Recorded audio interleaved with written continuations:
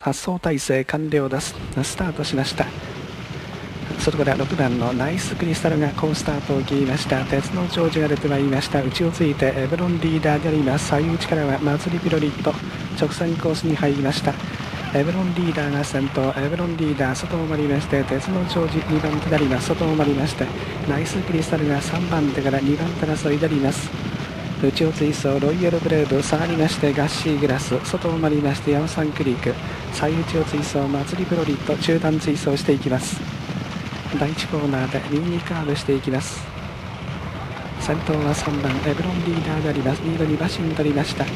鉄のジョージ単独2番手に上がっていきまして3番手争いであります。ナイスクリスタル外を回りましてぐんぐんと。グレートが上がっていきまして3番手争いであります。ロイヤルブレーブが追走して先行集団を形成します。第2コーナーカーブし終わりました。あと下がりましてガッシーグラスその内を追走祭りピロリット。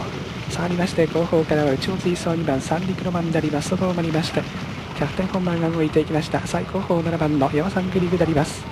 先頭から下がで13、4馬身スローの展開で3コーナー手前先頭エブロンリーダーであります。エブロンリーダーの外を回りまして鉄のジョージがスタートしていきました。